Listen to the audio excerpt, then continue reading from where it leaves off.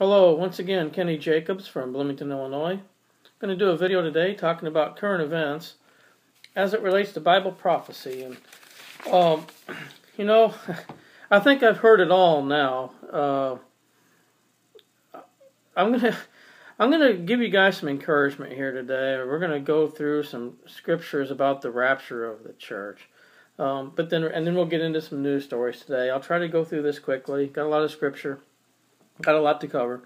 I'll try not to keep you too long. But uh, I gotta say though, I, I think I've heard it all now. I, I got a comment on a video a day or two ago that told me that uh, Jesus is already here, and I've been blinded by the New Testament.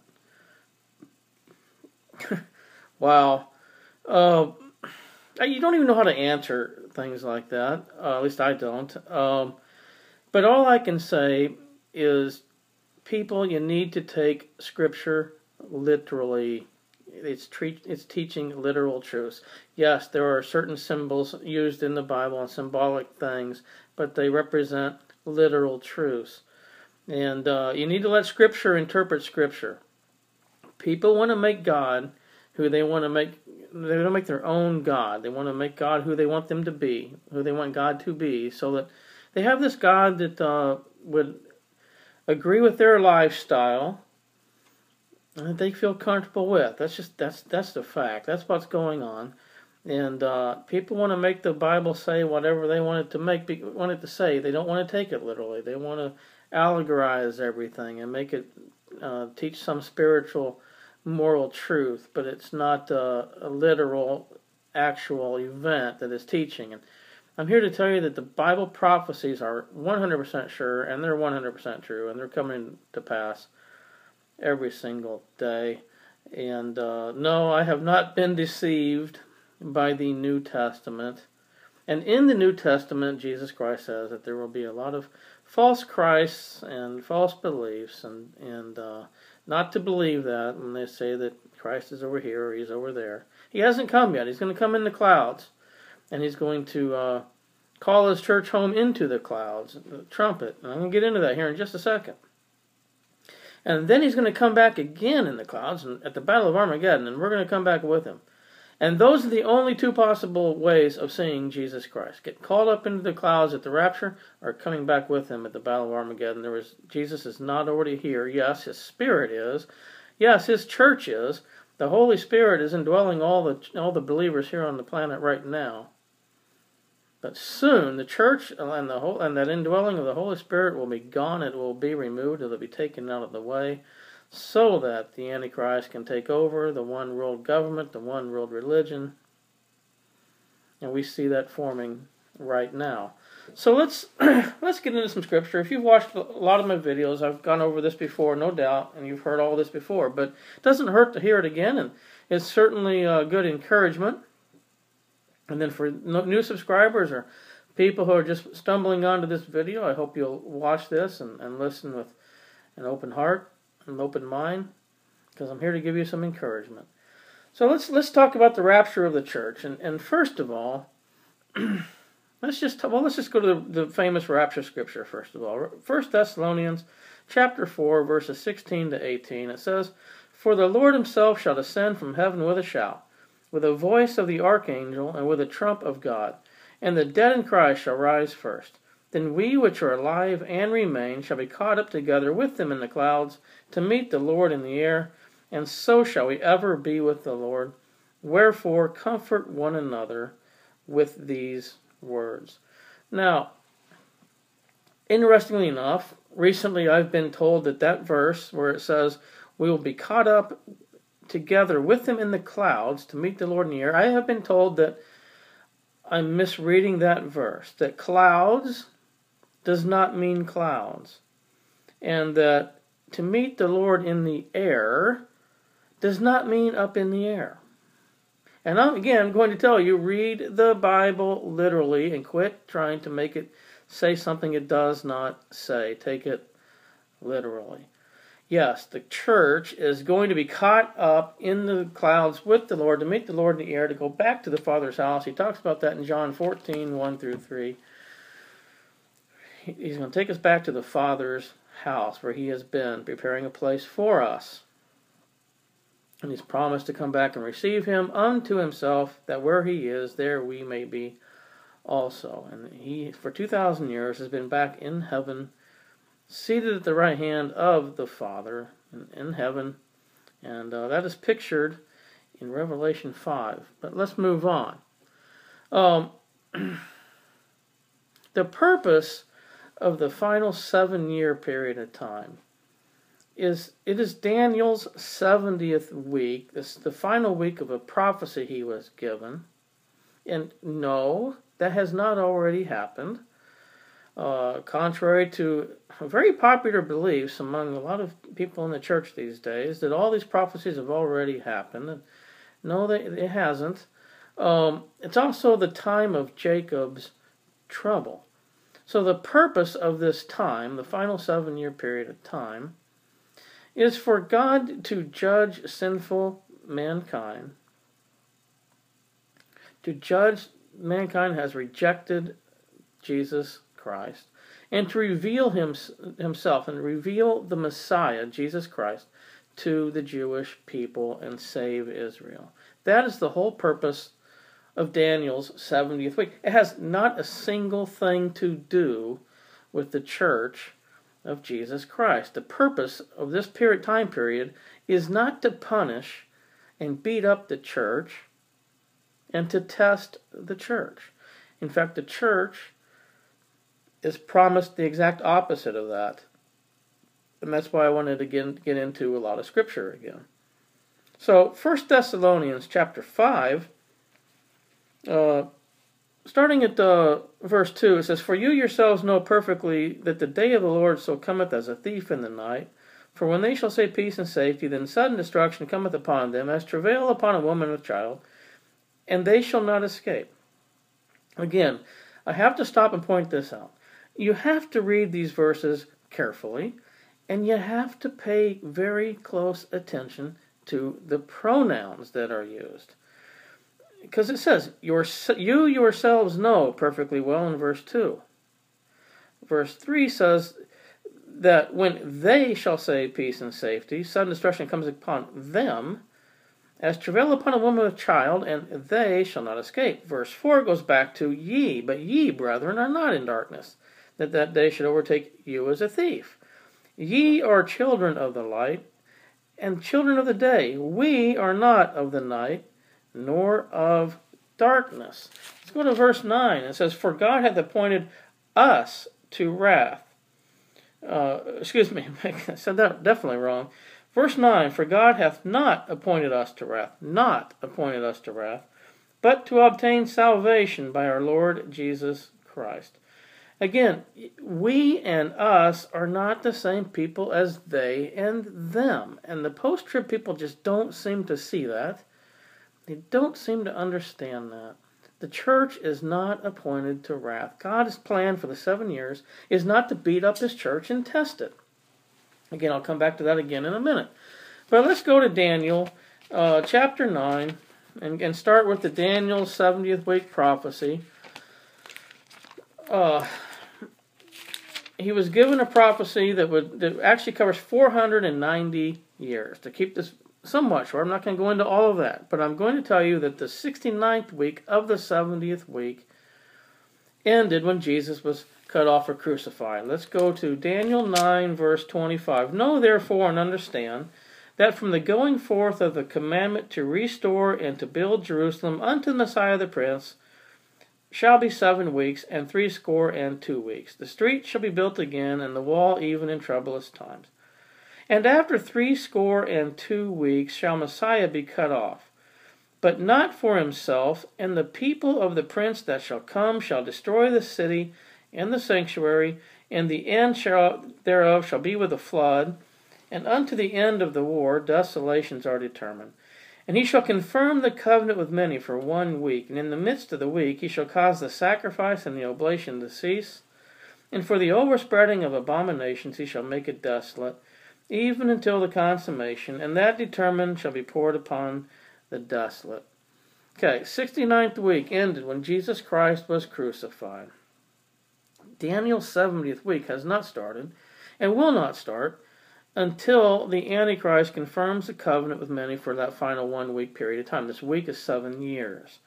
And then it says here, in the, the midst of the week, in the middle of the week, he will cause the sacrifice and the oblation to cease. The Antichrist is going to enter a temple that will be rebuilt in Jerusalem for the final seven year period of time. He will enter that temple with abomination of desolation and desecrate the temple and declare himself to be God. At that point, then, a lot of stuff starts to happen and we're going to get into all of that here as quickly as possible. But let's go to Matthew chapter 24, verse 15.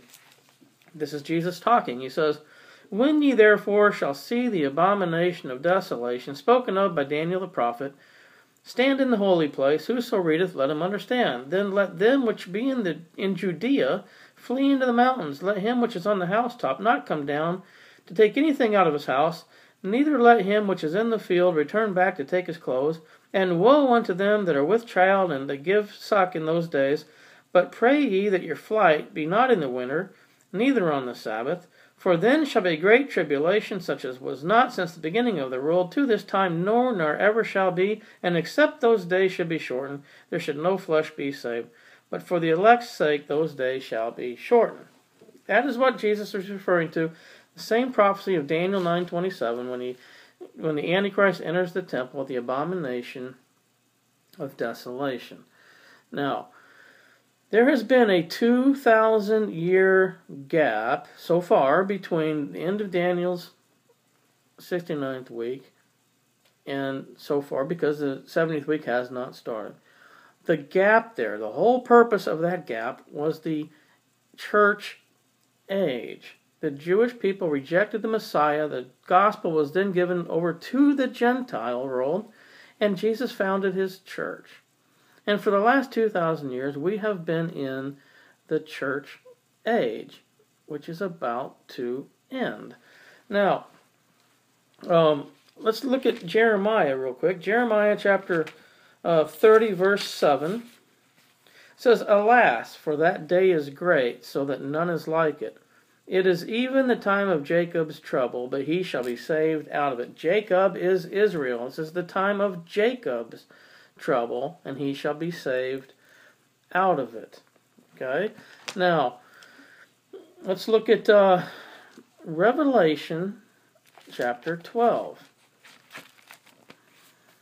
Revelation chapter 12 talks about the three and a half year period of time after the abomination of desolation.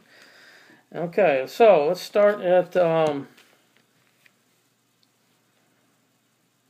let's start at verse 12. Revelation 12, 12. Therefore rejoice ye heavens, and ye that dwell in them. Woe to the inhabitants of the earth and of the sea, for the devil is come down unto you, having great wrath, because he knoweth he hath but a short time. And when the dragon saw that he was cast under the earth, he persecuted he he persecuted the woman which brought forth the man child, and to the woman were given two wings of a great eagle, that she, she might fly into the wilderness, into her place where she is nourished for a time, a times, and half a time from the face of the serpent. And the serpent cast out of his mouth water as a flood, after the woman, that he might cause her to be carried away of the flood. Now, the woman here is Israel. And Satan is going to persecute and try to kill all the Jews. And it's going to happen after he enters the temple in Jerusalem and at the abomination of desolation, three and a half years into the final seven year period of time. Remember, he confirms the covenant many for one week. Here it says that the, the Jewish people are nourished for a time, a times, and half a time from the serpent. That is three and a half years, which corresponds to Daniel 9.27 and Matthew 24.15. Now, Let's go to Second Thessalonians real quick.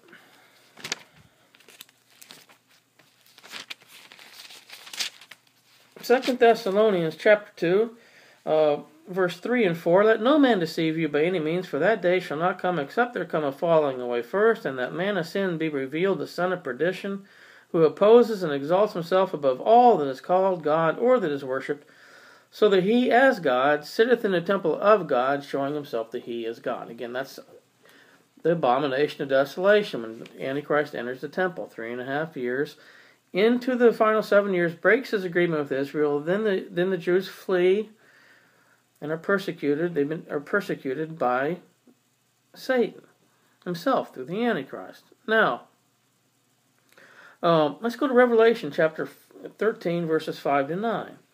And there was given unto him a mouth speaking great things and blasphemies, and power was given unto him to continue forty and two months. And he opened his mouth in blasphemy against God, and to blaspheme his name and his tabernacle, and them that dwell in heaven. And it was given unto him to make war with the saints and to overcome them, and power was given him over all kindreds and tongues and nations. And all that dwell upon the earth shall worship him, whose names are not written in the book of life of the Lamb, slain from the foundation of the world. If any man have an ear, let him hear. Again, up in verse 5, it says it was, the Antichrist was given power to continue 40 and two months. Again, three and a half years. But I've been recently told that three and a half years does not mean three and a half years, even though Daniel 9.27 re- refers to it, uh, Jesus refers to it, Matthew 24.15, and Revelation refers to it in Revelation 12, Revelation 13. It is a literal time period of three and a half years. So you've got to do some serious rewriting of Scripture and reinterpreting Scripture if you're going to make that not mean three and a half years. Okay, now, verse 13, verse 9, Revelation 13, verse 9 is very important. It says, If any man have an ear, let him hear.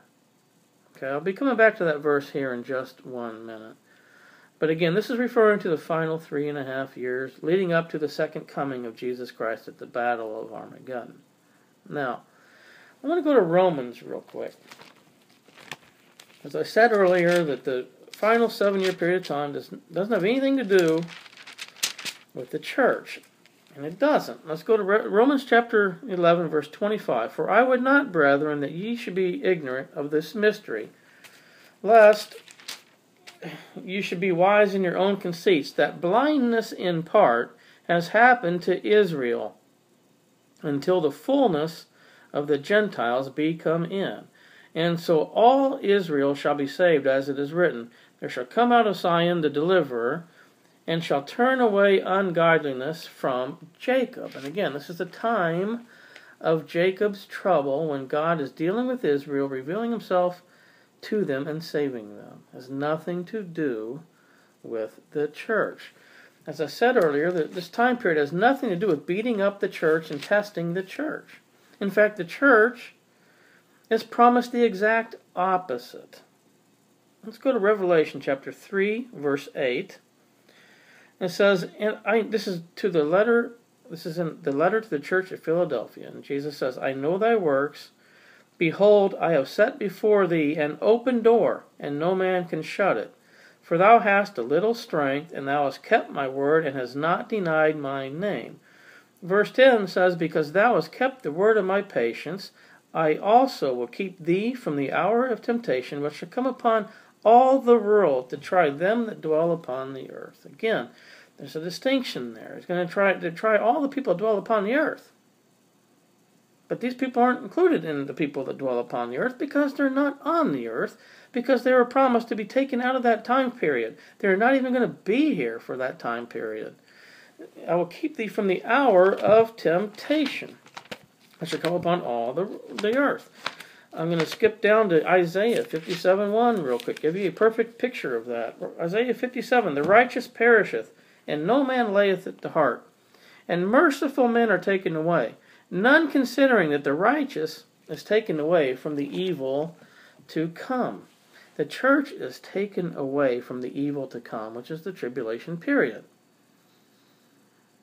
Now, whew, lot, lot to cover here. Um, but let's look at, at, all of the seven churches. All of the letters in Revelation 2 and 3 end with the phrase, He that has hath an ear, let him hear what the Spirit saith unto the churches. Okay, now, Revelation 3 8 said, Behold, I set before thee an open door to the church at Philadelphia, the church that is promised to not be here during the time period. At the end of Revelation chapter 3, the letters to the churches are over, and Revelation 4 1 starts with this After this I looked, and behold, a door was opened in heaven. Hmm. Open door. Revelation 3 8. Set, behold, set before thee an open door. Revelation 4 1. I looked and behold, a door was opened in heaven. Scripture interprets Scripture. And the first voice which I heard was as it were a trumpet talking with me, which said, Come up hither, and I will show thee things which must be hereafter. Hereafter, the church age. That's why church isn't mentioned anymore in the Bible. And that's why in Revelation 13 9 it says, If any man have an ear, let him hear. Uh, and not only that, but it, let's go back there again. It says, If any man have an ear, let him hear two important things are missing there. It says, if any man have an ear, let him hear, period. It doesn't say, he that has ears to hear, let him hear what the Spirit says to the churches. Why is that? The churches are no, the church is no longer here, and the Holy Spirit has been taken out. He's no longer indwelling believers like he did during the church age. Yes, there will be people saved by the preaching of the two witnesses, the 144,000, and angels proclaiming the gospel.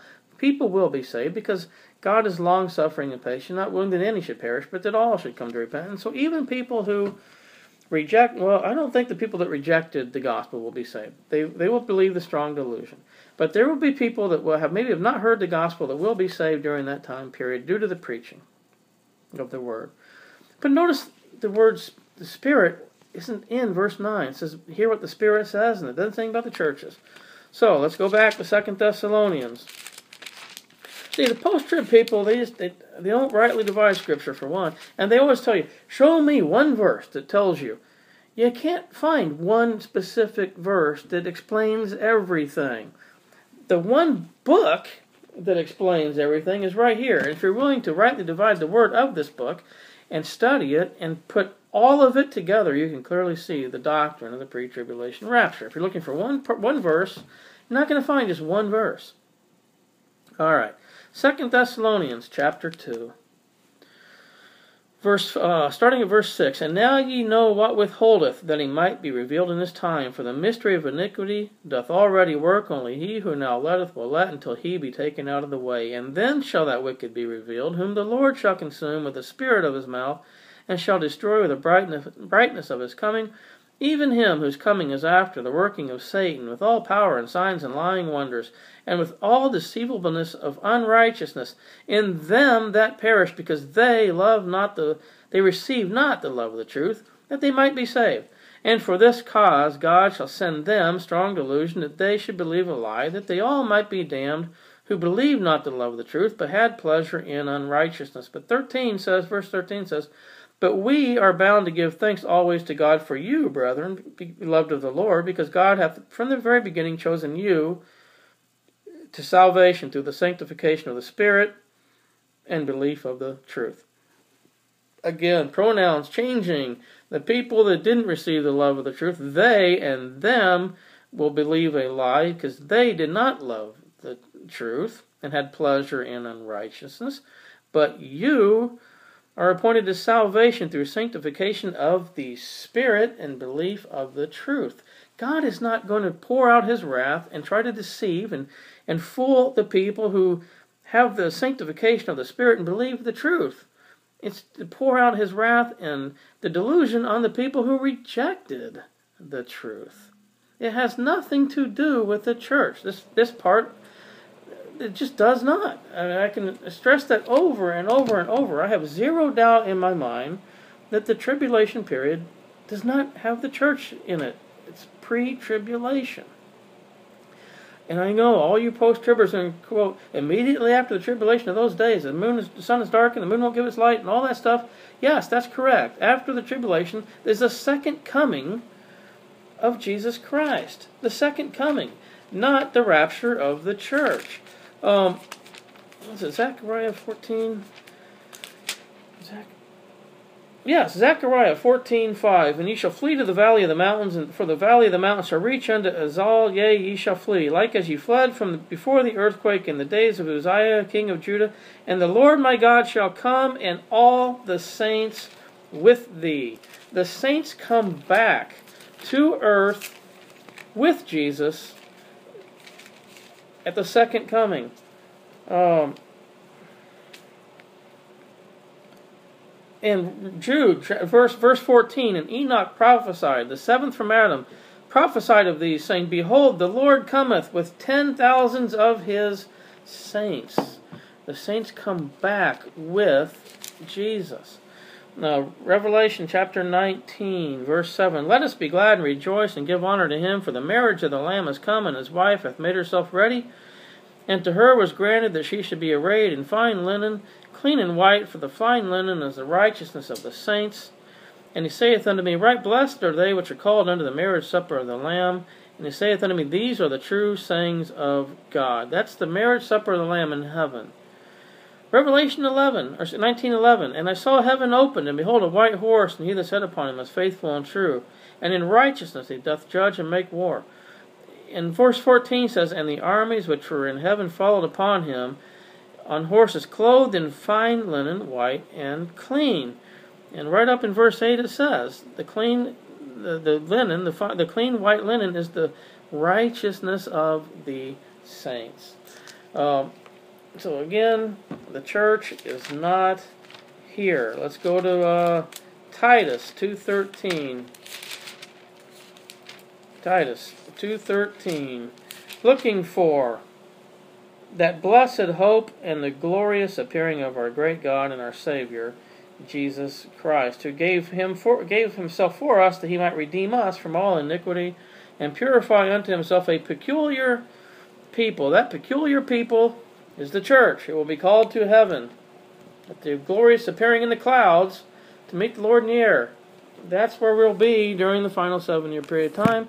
And based on all of the uh, the news, that day is very, very close. I, I watched a great video today by uh, Anita Fuentes.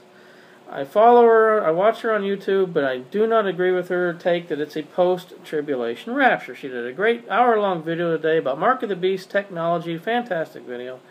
And then at the end, she says, uh, We all have to be prepared to be beheaded for not accepting the Mark of the Beast. Uh, we all have to be ready. No, we don't. The church has to be taken out of here before the wicked can be revealed. And I went through Second Thessalonians again, noticing the differences between they and them and us and we. They and them are the ones that uh, are facing the trials and tribulations. Yes, we all face tribulation. That just means trials and difficulties and troubles. We've had those our whole life. We always will until we're taken out of here. But that doesn't mean you're going to be here for Daniel's 70th week. Revelation 3.10, I will keep thee from the hour that will come upon all the world to try them that dwell upon the earth. All right, let's get into some news stories. Uh, try to get through these pretty quick for you. University of California students chant Allahu Akbar after anti-Israel vote. Activists waving Palestinian flags reportedly heckled Jewish students at the University of California, Davis and chanted Allahu Akbar during a student government vote last week to call on the school to boycott Israel. The student government resolution passed 8 to 2 Thursday and formally recommends the university divest from companies who do business with Israel, such as American companies and Caterpillar and uh, Raytheon and a few other companies. Uh, Hamas and Sharia law have taken over UC Davis, she boasted, alongside a photo taken at the meeting. That was uh, Azka Fayyaz, a member of the UC Davis Student Gen- uh, Senate, gleefully posting on Facebook after the vote that Israel will fall. That's going on in our American campuses right now. It makes me sick. All right, uh, let's move on. Times of Israel. Come on. Let's see the Times of Israel today. Outrage in Middle East over IS killing a, a Jordan pilot. Now, I want to point out the something in this article. It's very, very interesting. I've seen it in all sorts of news sources. I'm reading it now out of Yahoo News. Outrage in Middle East over ISIS killing of Jordan pilot. It says, um, This is a, a, video showing Islamic State militants burning a captive Jordanian uh, pilot to death brought an outpouring of grief and rage across the Middle East on Wednesday. Its brutality horrifying a region long accustomed to violence. By the way, I saw the whole video, and it's unbelievable how evil man can be and what they can do to other human beings. It is absolutely amazing. Um, it just shows you the spirit of Antichrist is alive and well. And uh, we all just need to pray for each other. It's, it's crazy out there. Um, political and religious leaders offered angry denunciations and called for blood. Um, but let me scroll down here because this is just amazing. It says the head of Sunni Islam's most respected seat of learning, Egypt's Al Azhar, said the militants deserve the Quranic punishment of death, crucifixion, or the chopping off of their arms for being enemies of God and the Prophet Muhammad. And then the next paragraph says Islam prohibits the taking of an innocent life, uh, said this sheikh in, in a statement, adding that by burning the pilot to death, the militants violated Islam's prohibition on the mutilation of bodies even during wartime. Now, don't you see the contradictory statements there? Let's go back. The head of the Sunni Islam's most respected seat of learning said, The militants who killed this pilot deserve the Quranic punishment of death, crucifixion, or the chopping off of their arms for what? For being enemies of God and the Prophet Muhammad. But then they turn around and say that Islam is a religion of peace. Islam prohibits the taking of innocent life. But wait a minute, you just, you just said the Quran the Quran says that you have to crucify or chop off the arms of people who are, are what? Just enemies of the Prophet Muhammad. So which is it? The fact of the matter is, Islam is not a peaceful religion. Period. It's not. There are certainly apostate Muslims out there who try to live in peace who aren't in, involved in jihad, but the Hadith and the Quran teach that. Just because there are Muslims who aren't involved in that does not mean Islam itself is a peaceful religion. And, and the hypocrisy there is amazing. Saying that they deserve to be crucified or have their arms chopped off, which is what the Quran says to do to people who, um, you know, offend the Prophet Muhammad. Um, people need to wake up. It's it's incredible. Um, let's move on.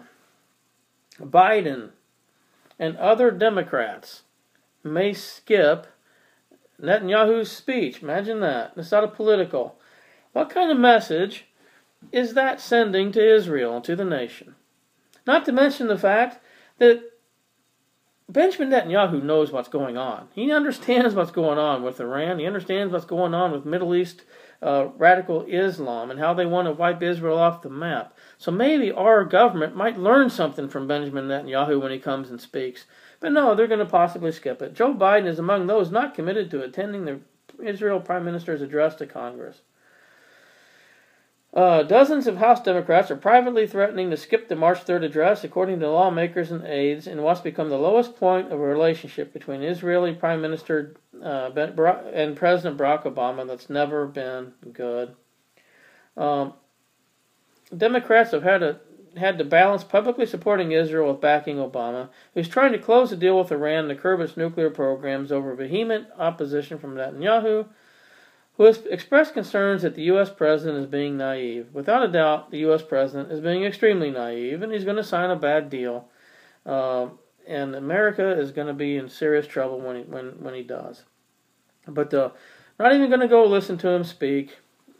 The disrespect and we show Benjamin Netanyahu is just incredible. Never thought I'd see it in America. Um, let's go on. So I'm trying to get through these news stories for you pretty quick. Um, I love this story. Um, let me find it, darn it. Here we go. This is out of uh, Arutz today. Edelstein, the truth of our rights to Israel is biblical. This is a great article. Unfortunately, these articles do not get enough publicity, enough airtime. Adults, let's just skip over that. Um, Knesset Speaker Yuli Edelstein, Donald Trump, and Joan Rivers um, were just honored, were awarded honorary prizes in New York on Tuesday. Um, the, the prize was given to Edelstein by the Jewish paper which hosted the event for his struggle for the truth, explaining that he influenced positive, positively through his actions for the Jewish people in the world and in Israel. Jewish community leaders were in attendance at the event. Today, unfortunately, there is no concept of pure ultimate truth, said Edelstein while accepting the award. The truth of the claims by others on our land does not exist. Noting the historical connection of the Jewish people to Israel, Edelstein referenced the biblical patriarchs, saying, When I leave my home, I walk on paths where Abraham, Isaac, and Jacob walked, and that's the truth regarding our rights to the land.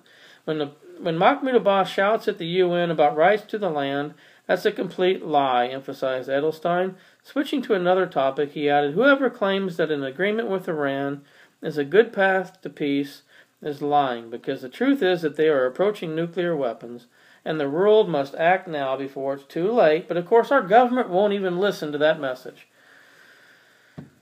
Zechariah 12:9, the Lord says, "I will seek to destroy all the nations that come against Jerusalem." Uh, that's probably what's about to happen to our nation, thanks to Barack Hussein Obama's treatment of the Israeli people. Um, Speaking of the war on Islam and Barack Obama, this is out of uh, Now the End Begins. And the title of this article is Mr. Obama, when will you get angry about radical Islam? Answer never. Uh, says once again, our president is declaring that we are not at war against Islamic terrorism. America wants to know when is President Obama going to get angry? When is he going to slam his fist on the desk demand vengeance, put aside his um, campaigning, and call out the Islamic radicals of ISIS as the animals they are. Interpreted in the course of yet another photo op on the benefits of Obamacare, inter- excuse me, interrupted in the course of yet another photo op on the benefits of Obamacare, the president looked almost irritated Tuesday to be asked his reaction to the murder of the Jordanian pilot shown on the internet being burned alive by ISIS. We have reaffirmed that the United States is not and never will be at war with Islam. Islam teaches peace. Muslims the world over aspire to live with dignity and a sense of justice. And when it comes to America and Islam, there is no there is no us and them. There is only us, because millions of Muslims Americans are part of the fabric of our country. He talked openly about the bankrupt ideology of this organization, like he, like he was addressing unhealthy menu choices at a fast food company. Where's his outrage? President Barack Obama says he rejects the notion that the war on terrorism is any kind of religious war against radical Islam, and that the U.S. should align itself with the 99.9% of Muslims who are looking for peace and prosperity. Uh, there are approximately 1.6 billion Muslims on this earth. Over 300 million are aligned with jihad with jihad terrorism. That's not a tenth of 1%. Being raised in a Muslim country and as a Muslim, Barack Hussein Obama knows full well that, that the Quran, what the Quran says about global domination. He knows the jihad verses. He purposely placed radical Muslim Brotherhood members into key and very sensitive positions in our government. He allowed the new political party UMAA, made up of Muslim Brotherhood members, to assemble and meet in our State Department. When will the left wing nuts get their heads out of the sand and see what this usurper is doing to destroy America? Fact of the matter is, I don't think they will. Uh, I really don't. Um, this is a follow up to a news story I covered yesterday about the UN Youth Assembly meeting at the United Nations, how the, the youth is being indoctrinated into the New World Order. Here are five priorities that they came up with. Five priorities for the post 2015 Millennial Development Goals. Number one, leave no one behind. I suggest you to make sure you know you don't get left behind because Jesus Christ is coming for his church soon. Number two, put sustainable sustainable development at the core. Again, sustainable development sounds very interesting until you read about Agenda 21 and all the other stuff out there about depopulation and, and control of the people. New World Order. Number three, transform economies for jobs and inclusive growth. Inclusive. Listen to Barack Hussein Obama and Pope Francis and their new war on income inequality. Four, build peace and effective, open, and accountable institutions for all. And number five, forge a new global partnership, which would also be known as a new world order. That's what our youth are being encouraged to accept, believe in, and try to take part in. One last news story out of the Arutz Sheva today.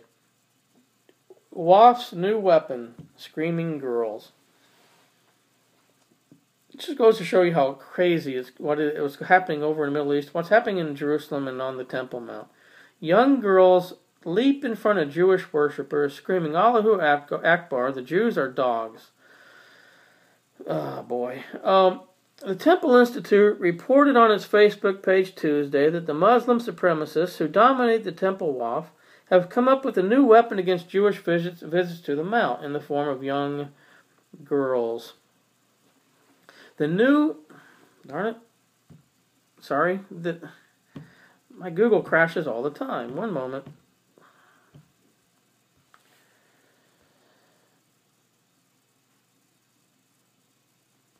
Let's try this again.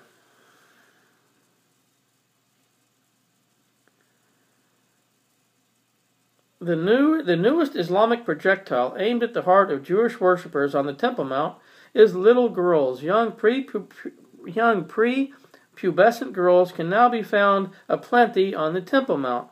Because they are Muslim, young, and female, the Israeli police won't touch them. The young girls, following the instruction and encouragement of their elders, feel free to leap in front of Jewish worshippers, screaming in their high pitched voices, Allahu Akbar, the Jews are dogs, and whatever else comes to their innocent minds while at the same time jabbing their fingers in the faces of Jewish worshippers. Sometimes the little angels get so wrapped up in their game of harass the Jews that they even begin pushing the Jewish worshippers. Religion of peace, right? Uh, what is a self respecting, dignified human being to do in response? Asked the Institute. Push the little girls back? Uh, pull on their ponytails? A group of six Jewish worshippers Sunday did what they thought was responsible and appropriate thing to do. They called on the police to intervene. The police did, arresting the Jews and holding them in custody for more than 24 hours. All this goes to prove the wildly successful effectiveness of the Muslims' latest weapon in their ever improving arsenal in the war against the Jews on the Temple Mount. Um, again, where's Pope Francis in this? When's he going to step in? When's he going to demand that the, the for tolerance be included, that the Jews be included in that, and that the Jews get are given their rights to pray on the Temple Mount and ultimately build their temple? This whole religion of tolerance and inclusion doesn't seem to include two things: the Jews and Christianity, true biblically based Christianity that's not part of the New World Order system of uh, this new ecumenical movement. If you believe in the truth of the Word of God and believe Jesus Christ is the only way, or if you are a Jew, you are not accepted by the New World Order elite. That's just a fact. And that's just another sign that Jesus Christ is coming soon. We're living in the last days. So, if you do not know today for sure that you are saved, today is a day of salvation. You truly are running out of time. God has given you so many reasons to, to know that He existed, that He is real. Jesus Christ is the way, the truth, and the life. He said Himself, No man comes to the Father but by Him. God has given us prophetic sign after prophetic sign to prove that the word of His that His word is true, and that the events are happening exactly like the Bible said they would. And Jesus will still save you if you call upon him in faith. The Bible says, All who call upon the name of the Lord shall be saved. But you must confess that he is the Son of God and ask him to save you right now, and he will. But again, he is the only source of salvation. There's no other path to God, regardless of what the world wants to tell you. Jesus Christ himself is the only way. He will save you, but you're running out of time. Time is short. Keep looking up. God bless everyone.